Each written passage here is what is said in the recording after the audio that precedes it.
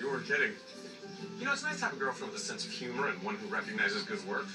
Like, teach the chords. See, the XG, that's the most important chord. In my mind, it it stands for God, Why is Annie talking to micro nipples? Vaughn?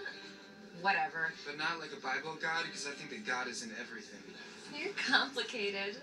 Annie, Annie, where you going today? Spanish class? Spanish. You know what I don't get? He never wears a shirt. He never wears shoes. Why hasn't he died from lack of service?